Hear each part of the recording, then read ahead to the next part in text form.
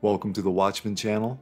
This channel is all about world news and Bible prophecy, pointing to the soon return of our Lord and Savior, Jesus Christ. I am asking that if you can, to please help to financially support this ministry.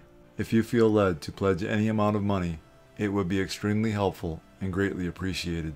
There is a PayPal link in the description box and in my pinned comment below. You can also donate using Cash App. My cash tag is dollar sign Watchman 1963. Thank you all so much for your prayers and support. God bless. Jesus said, as a sign of his coming and the end of the age, there would be an increase in deception, false Christs who will deceive many, wars and rumors of wars, nation against nation and kingdom against kingdom, famines, pestilences, earthquakes, Christian persecution, apostasy, false prophets, and lawlessness causing the love of many to grow cold. Jesus said all of these signs would come like birth pains. Jesus was likening last days events to a woman in labor. As the labor progresses, the pains increase in both frequency and intensity until the baby finally comes. As we get closer to Jesus' return, all the signs he gave us as a sign of his coming and the end of the age will become more frequent and more intense. All of these signs are manifesting around the world in our time. As a sign of his coming and the end of the age, Jesus declares, And you will hear of wars and rumors of wars. See that you are not troubled, for all these things must come to pass, but the end is not yet. For nation will rise against nation, and kingdom against kingdom. The United States is unprepared for the most serious security threats it's faced since World War II. That's the warning defense experts delivered to a Senate committee this week. CBN's Dale Hurd reports. The heads of the Commission on the National Defense Strategy told the Senate Armed Services Committee that the United States is nowhere near prepared for the dangerous multi threat environment it's facing. The public has no idea how great the threats are. Commission Chairman Representative Jane Harman and Vice Chair Ambassador Eric Edelman issued a dire warning to the committee Tuesday. The homeland, if there's a conflict, is not going to be a sanctuary anymore. And the first uh, attacks will likely be in the cyber cyber domain, and they will be incredibly uh, disabling. The public is essentially clueless about the massive cyber attacks that could be launched any day by our adversaries, not just nation states, but rogue actors as well. The report warns a cyber war with China or Russia would be devastating. America's critical infrastructure would come under attack, possibly cutting off power, water, transportation, and financial systems, and shutting down the supply chain. The report states major war would affect the life of every American in ways we can only begin to imagine. The report echoes a warning FBI Director Christopher Wray gave Congress. China's hackers are positioning on American infrastructure in preparation to wreak havoc and cause real world harm to American citizens and communities if and when China decides the time has come to strike. One of the things we might anticipate, for example, is if China decides to annex Taiwan or whatever euphemism they might use, um, they might uh, engage in a major cyber attack here first, for which we are underprepared. The Commission found the U.S. defense sector lacking in almost every area, including integrated weapons technology platforms and software. With recruitment levels for all branches lagging, America needs a larger fighting force, and the hearing discussed lowering physical standards for recruits and even instituting a draft. We found that the joint force is at the breaking point of maintaining readiness today. Adding more burden without adding resources to rebuild readiness will cause it to break. And with so many cyber threats, the commission also said the Pentagon must find a way to somehow lure the best and brightest computer minds away from Silicon Valley and into national service. In the last days, the prophet Zechariah tells us Israel will be the focal point of world conflict, and he gives a dire warning to the nations who would dare come against Jerusalem.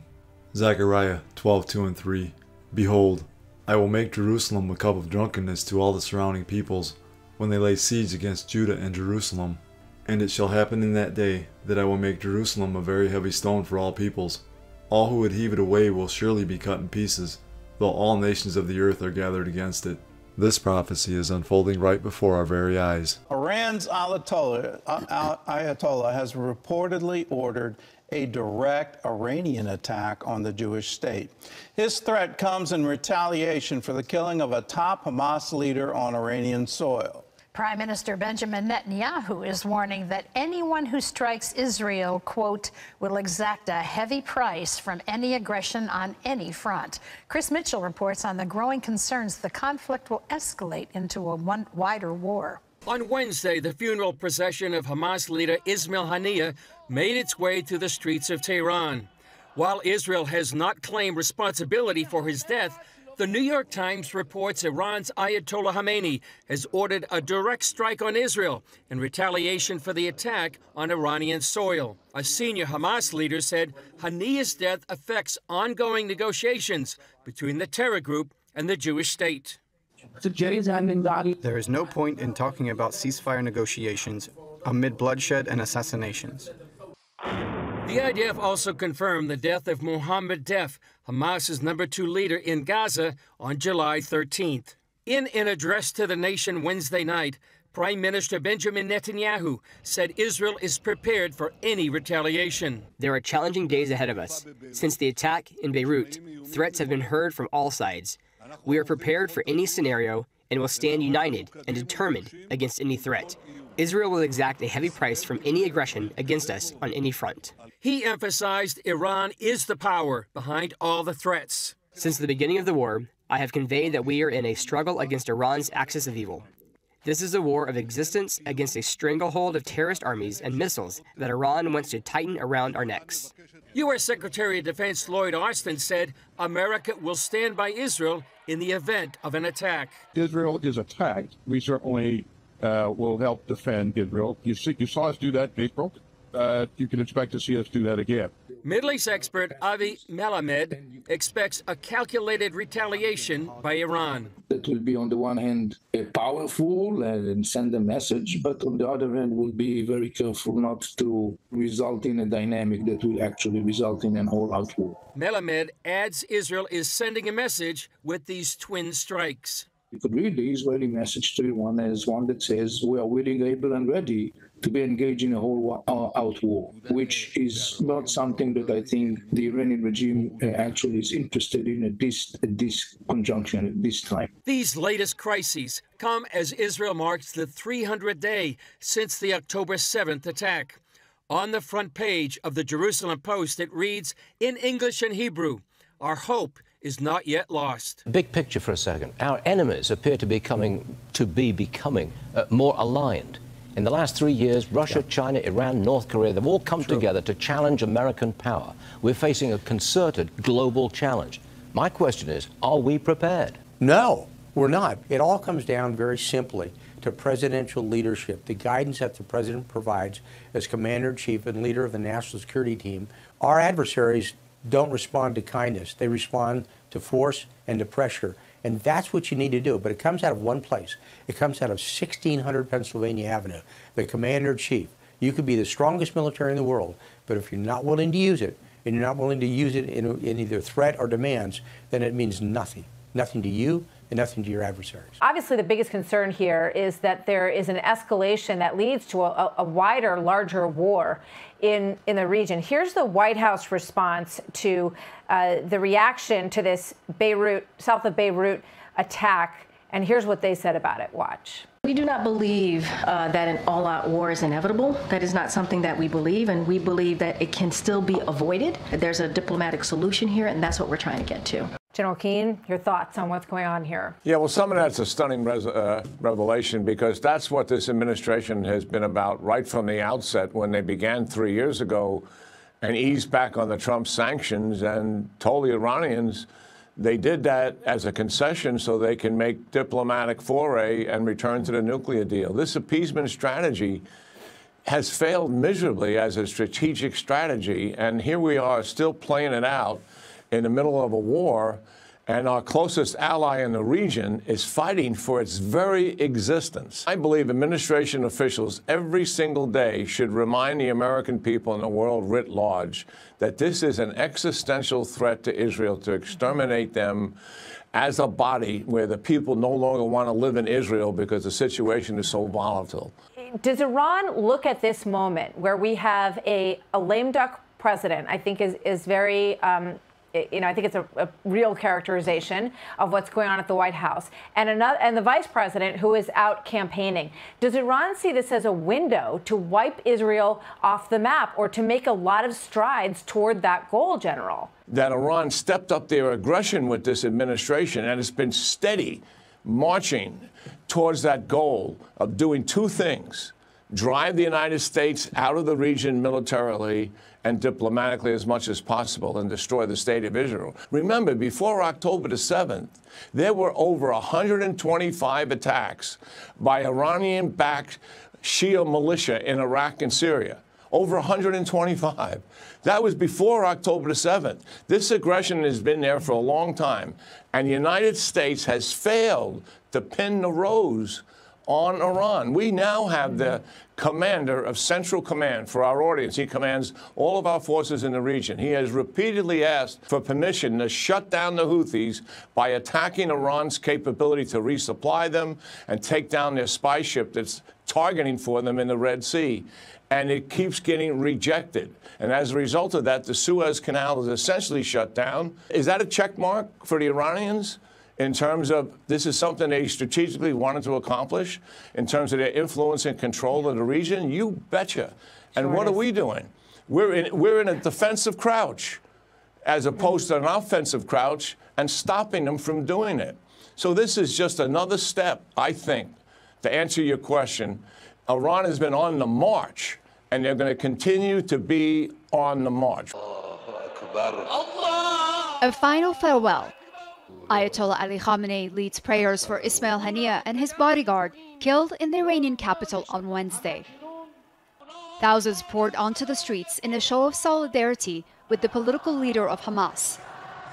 Haniyeh's body was taken from Tehran University to Freedom Square and eventually to Mehrabad Airport, where it was flown to Doha for his burial on Friday. The 62 year old was a guest at the inauguration ceremony of the newly elected president, Masoud Pezeshkian. It was Haniyeh's fourth trip to Tehran since October 7th. And his assassination is being viewed here as a work of Israel with the help of the United States. Washington says it played no part in it and had no prior knowledge of the attack. Israel has not commented. The time for the occupation to attack without response is over. They've done something and they must pay the price. They must be held responsible. America is responsible for this. No crime is committed by the occupation without the criminal America. Senior Iranian officials see the strike on Iranian soil as a declaration of war, and they have promised revenge. This time, Iran's response will be different. In the last one, it informed regional countries in advance about the timing of the retaliation to prevent a disaster. But I think this time its response will be a surprise, and it will come much sooner. On April 13th, Iran launched more than 300 drones and missiles towards Israel in response to an airstrike on its consulate in Damascus two weeks before. Israel responded by attacking Iran's air defense systems near the Natanz nuclear facility. Ismail Haniyeh's assassination has once again forced Iranian officials to make a difficult decision, one that's ultimately up to the supreme leader. If Iran attacks Israel again, it's unlikely to act alone. The so called resistance front, which includes the Houthis in Yemen, Hezbollah in Lebanon and the Popular Mobilization Forces in Iraq will be expected to take part, making this a critical moment for the Middle East. Zechariah 12:6 In that day I will make the governors of Judah like a fire pan in the woodpile, and like a fiery torch in the sheaves. They shall devour all the surrounding peoples on the right hand and on the left, but Jerusalem shall be inhabited again in her own place, Jerusalem. The Bible tells us there are four possible prophecies on the verge of finding fulfillment. Isaiah 17:1, in which Damascus, Syria will be destroyed in a single night. Jeremiah 49, the prophecy of Elam, which could infer an Israeli attack upon Iran's nuclear program. Psalm 83, in which the Muslim nations that border Israel will mount an attack on Israel in order to cut them off from being a nation. Ezekiel 38 and 39, known as the War of Gog and Magog. In this prophecy, a coalition of nations led by Russia, Iran, and Turkey will attack Israel in the last days in order to take Israel's wealth. Matthew 24, 6 and 7. And you will hear of wars and rumors of wars. See that you are not troubled, for all these things must come to pass, but the end is not yet. For nation will rise against nation, and kingdom against kingdom. Nation is the Greek word ethnos, which means a race, as of the same habit, i.e., a tribe, especially a foreign, non Jewish one, Gentiles, usually by implication, pagan. What I believe Jesus is saying here is that there have always been wars and rumors of wars. But when you see the same ethnic group fighting the same ethnic group, now pay attention. His return is near. These are the moments on Wednesday when kamikaze drones attacked a crowd of dignitaries at a military base in eastern Sudan in what the army says was an attempt to assassinate Abdel Fattah al Burhan. The general escaped unharmed, but several people were killed and injured at the graduation ceremony at Jebeit. Afterwards, he was defiant and cheered on by his officers. He blamed the rapid support forces for the attack. We have to put an end to those rebels who terrorize the Sudanese everywhere. We salute you, and through you, we send our message to our people everywhere that we will not retreat, we will not surrender, and we will not negotiate with any party, no matter who it is. The statement backtracks on an earlier commitment Burhan made to join ceasefire negotiations in Switzerland later this month. The Rapid Support Forces had also agreed to participate in the discussions hosted by the US and Saudi Arabia. The group denies responsibility for the drone strike. Now these peace talks appear in doubt. The uncompromising message comes at a time when the fighting has intensified, with government forces losing control of several important cities and the capital of northern Darfur, Al Fasher, under siege by the paramilitary group. The country is going through a major situation, and you are seeing its repercussions now. It's a situation which requires all of us to unite, to be strong, and to carry our guns, because there is no solution for this country except with a gun.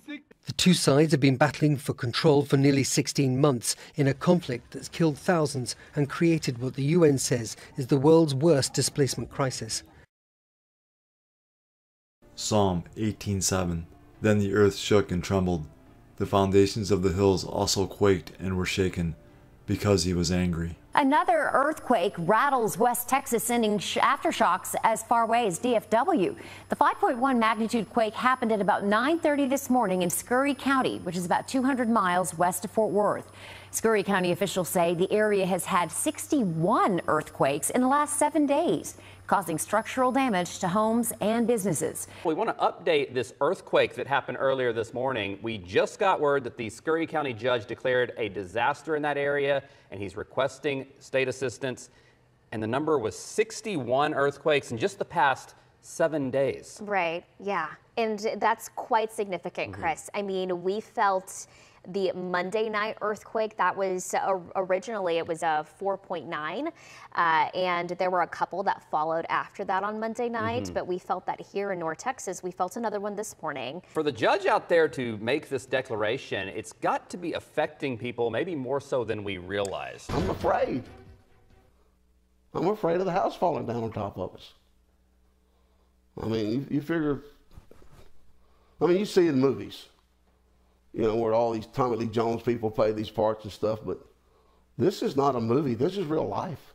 Back to back earthquakes in Scurry County are causing mental distress for some people there. The latest earthquake hit early this morning. KTX's reporter Karina Hollingsworth spoke with one man who says he's tired of all the shaking. Multiple earthquakes have shaken up Scurry County off of Highway 180 over the past week. And Don Deville told me seven earthquakes have rattled up his home in just 24 hours. And he fears these quakes are just getting started. It moved all of that. It took a screw that was in the wall here from up there that was that long. It, it just puked it out, and it was in the two by four, and put that on the ground and see where. I would have hated for this to hit me in the head to see the dent it did in the floor there and there. That probably hurt. Don Deville told me as earthquake after earthquake caused his home to tremor, he can't help but wonder when the next one will strike. It's traumatizing. You'll be in bed asleep, and to have that wake you up, it's like putting you in a jar. You take and put a marble in a jar and just shake it. That's what the house does. And when you're in bed, it it it scares the bejesus out of you. Deville says when a 5.0 magnitude earthquake attacks, damage to homes are unavoidable. Uh, there's places in the ceiling where you can see the nails coming down.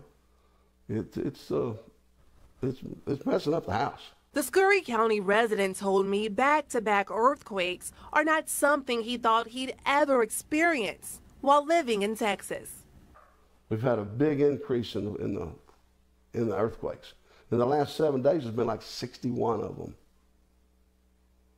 We didn't have this before now. And now, with earthquakes now a part of his new normal, Deville says his mind wanders about the worst possibilities. Having somebody come dig me out from underneath the rubble, that's a fear. It appears changes to our planet are now accelerating. The number of earthquakes around the globe continues to rise, and volcanoes are beginning to behave in some unusual ways. We are far more vulnerable to natural disasters than most people realize, and it looks like the shaking of our planet is only going to intensify in the months and years ahead. We were warned by the prophets of old, and even Jesus himself, that these things would take place right before his return. Now to the west, and the Park Fire is the fifth largest in California history. It's destroyed nearly 300 structures in its path. Yeah, that Park Fire now 18% contained, but uh, firefighters still trying to get a handle on this fire. This is very much a race against time. As Ginger mentioned, those extreme heat temperatures, triple digit temperatures moving into the area, and that will make conditions on the ground for firefighters all the more challenging. This morning, wildfires wreaking havoc on the West Coast. Thousands of personnel have been battling the park fire for a week, but the fire steadily growing bigger, becoming the fifth largest in state history. Well, this is just a small taste of what firefighters continue to deal with, these spot fires popping up with the potential of spreading. But the park fire here in Northern California is not the only fire burning. There are dozens and dozens throughout the West. Christy and Michael Deneau of Paradise, California lost their home in the 2018 fire that ravaged the town. Now, the home they rebuilt in Cohasset also gone. But this time, they were able to save some priceless possessions. The most mm-hmm. important things I grabbed was me and my brother and sister have my mom's ashes along with my dad. And so I was able to grab a few little pictures and her ashes. Firefighters in Southern California battling the Nixon fire, which has grown to more than 4,900 acres with 0% containment since Monday. Psalm 917 The wicked shall be turned into hell, and all the nations that forget God. A summer of wildfire not letting up, with multiple infernos now raging in Colorado. If the wind switches directions, um, I think that we could be in big trouble. The Stone Canyon fire northwest of Denver, now deadly. One person was killed after flames tore through homes in the town of Lyons. Five structures up in smoke. And late today, a new fire burning homes in the hills of Boulder. Further south, the quarry fire igniting overnight, almost 600 homes evacuated. There was a flashlight uh, shining in the window, and it was the sheriff telling us we had to evacuate. The fire small but challenging, with crews and resources stretched thin. Joe Lorenz has been watching the fire grow. What's your biggest concern right now? I don't want to lose my home. I don't want to lose my neighbors. Every neighborhood in this facility is at risk. This fire is not an easy fight. The terrain is treacherous. And this is what they're talking about here this steep terrain. On top of that, another big concern are rattlesnakes. There are a lot of them here, making it even more dangerous and challenging for firefighters to do their job and get that under control. This fire among 95 burning across the West, including in Oregon, Washington, and California where crews are getting a handle on the massive park fire after it chewed through more than 300 structures. As evacuees return home, some finding nothing left behind. It's just that hope that maybe you'll flip something over and it won't be ashes. Those storms are only making matters worse in Vermont, where overnight flooding has left some communities devastated. In some parts of Vermont, eight inches plus of rain fell within a 24 hour period, leaving behind scenes of destruction like this. I want to take you on a little walk to see just what's left behind. It's hard to believe that this is the product of a single rainstorm we're seeing downed trees, down power lines, homes completely submerged in mud. In fact, this whole area was submerged up until around 3 o'clock this afternoon. The water has now receded. I feel like I'm in a nightmare. I I'm just waiting to wake up. I, there's no other way to really describe it. Her house, my other neighbor's house, my house is torn to shreds. I mean, my roof's there, my house is over there, my bedroom walls are down there. It's absolute disaster. Speaking to meteorologists, and they're telling me that this is the product of climate change. They said that Vermont has just simply not seen this much rain in recent years. They're pointing to that change in the climate. Soldiers and rescuers work through slush and rocks under steady rain, looking for survivors and searching for bodies in the hills of India's Kerala state on Wednesday, a day after scores of people were killed in monsoon landslides. Huddled in shelters, survivors said they had lost everything. I've lost my son and grandchild. The river swept them away. I don't have a life anymore. I have lost everything. They have found the body of my son. We'll go to the mortuary to see his body. My family was in Mundakai. They're all dead.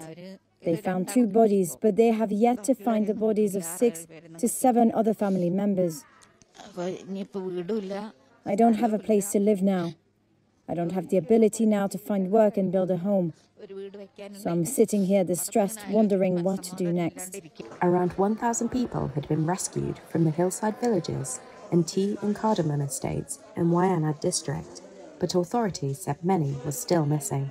Heavy rain in Kerala led to the landslides early on Tuesday, sending torrents of mud, water, and tumbling boulders downhill and burying or sweeping people away to their deaths as they slept. It was the worst disaster in the state since deadly floods in 2018. Experts said the area had been receiving heavy rainfall in the last two weeks, which had softened the soil, and that extremely heavy rainfall on Monday triggered the landslides. The Indian Army said it had begun the process to construct an alternate bridge after the main bridge linking the worst affected area to the nearest town was destroyed. The region hit by the landslide was forecast to get 8 inches of rainfall, but ended up getting 22.5 inches over a period of 48 hours, Kerala's chief minister said on Tuesday. India has witnessed extreme weather conditions in recent years, from torrential rain and floods to droughts and cyclones, blamed by some experts on climate change. India's monsoon rains were supposed to bring relief from scorching heat. Instead, flooding and landslides triggered disaster killing dozens in the southern state of Kerala. Extreme weather crises blamed by some experts on climate change. Around the world, rising temperatures have led to heat warnings, forest fires, wilting crops across Asia, Europe, and the U.S. According to new data compiled by NASA, July 22nd was the hottest day on record for the planet ever, part of what scientists call a long term warming trend driven by human activities, primarily the emission of greenhouse gases. Few places on Earth show the critical challenge of extreme and rising heat like India, where record heat waves this summer had temperatures hovering at 115 degrees or higher intense hot stretches that experts say are longer and more dangerous. People who don't live in India might think, well, India is always hot. The heat wave um, advisories have come in consecutively for the third year now. This year has uh, undoubtedly been intolerable. The concern is when humidity is added to temperature, known as a wet bulb measurement. When that level approaches the body's temperature, it's harder for humans to sweat and survive. In a report last November, the World Bank warned that wet bulb temperatures in India could make it one of the first places to test that threshold. Already in teeming cities like New Delhi, drinking water for millions is so scarce that the government has moved to ration it. The water trucks come two or three times a day here, but it runs out fast and there's never enough. Sales of air conditioners have surged, but only for those who can afford it. The International Energy Agency predicts that by 2050, India will have a billion ACs going, all of them kicking off even more heat. Unless we start the change in ourselves and start bringing the change in our daily life, uh, climate change will not get better. This should not be the norm. People need to start realizing this is not okay. India's government has long had a heat action plan, but people are being forced to adapt to a new era of temperatures that just keep rising. The world is baffled at the events taking place in the weather, and yet it was foretold 2,000 years ago in Bible prophecy that this would happen. Satan, the great deceiver, often tries to front run God by giving people wrong ideas ahead of time about what is prophesied to happen. Satan has tricked mankind into believing that climate change is real and in turn has blinded many people to the gospel of Jesus Christ, as we read in 2 Corinthians 4 3 and 4. But even if our gospel is veiled, it is veiled to those who are perishing, whose minds the God of this age has blinded, who do not believe, lest the light of the gospel of the glory of Christ, who is the image of God, should shine on them. Jesus said a sign of his return would be more frequent and more intense weather, as we read in Matthew 24 7 and 8. And there will be famines, pestilences, and earthquakes in various places, all these are the beginning of birth pains. Pestilence is the Greek word loimos, which means a plague. Definition of a plague is any large scale calamity, especially when thought to be sent by God. God has used plagues in the form of extreme weather in the past and will again in the future. The seventh plague on Egypt was hail. Don't forget about the famine in Joseph's time. One of the biggest is the flood in the book of Genesis. In the future, during the seven year tribulation, God will once again use extreme weather in the form of pestilence as judgment. In Revelation 16:21, God uses hailstones weighing 100 pounds each, and great hail from heaven fell upon men, each hailstone about the weight of a talent. Men blasphemed God because of the plague of the hail, since that plague was exceedingly great. In Revelation 16:8 and 9, God uses scorching heat. Then the fourth angel poured out his bowl on the sun, and power was given to him to scorch men with fire, and men were scorched with great heat, and they blasphemed the name of God who has power over these plagues and they did not repent and give him glory. Climate change is simply Satan's counter to Jesus' signs of his return and the end of the age. So, when Jesus Christ warns us that just before his second coming there will be famines, pestilences, and earthquakes in various places, you had better believe that these occurrences are a sign from God and that he is about to intervene. Don't let Satan blind you to the gospel of Jesus Christ. The extreme weather the world has been witnessing is not climate change. It is God letting us know our Lord and Savior, Jesus Christ, is returning. The signs of Jesus' soon return are so strong now, and the evidence is so clear, that any person willing to accept the truth can see that the end of the world, as we know it, is near.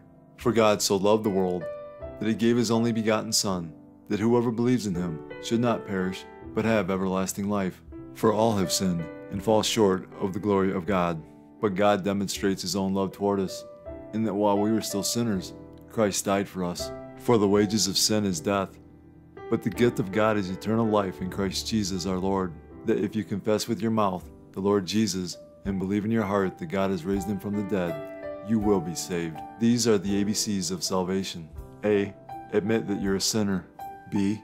Believe in your heart that Jesus Christ died for your sins, was buried, and God raised him from the dead. C. Call upon the name of the Lord, and you will be saved. Jesus paid the price for mankind's sin he has provided a way to spend eternity with Him and the Father. All you have to do is believe in the Lord Jesus, and you will be saved. God has already done all the work. All you must do is receive, in faith, the salvation God offers. Fully trust in Jesus alone as the payment for your sins. Believe in Him, and you will not perish. God is offering you salvation as a gift. All you have to do is accept it. Jesus is the only way of salvation. That being said, we must repent of our sins. While repentance is not a work that earns salvation, repentance unto salvation does result in works. It is impossible to truly and fully change your mind without that causing a change in action. In the Bible, repentance results in a change in behavior. Repentance, properly defined, is necessary for salvation. One day, Jesus is coming. You may be at church. You may be at work. You may be asleep. God grant that you will be ready when He makes His personal appearance. My God, what if His appearance occurs on a Sunday morning? my prophetic word to you this morning is get ready! Get ready!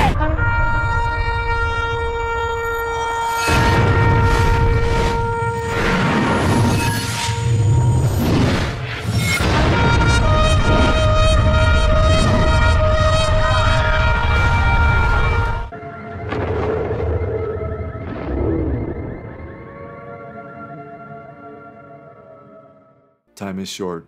Call upon the name of Jesus today.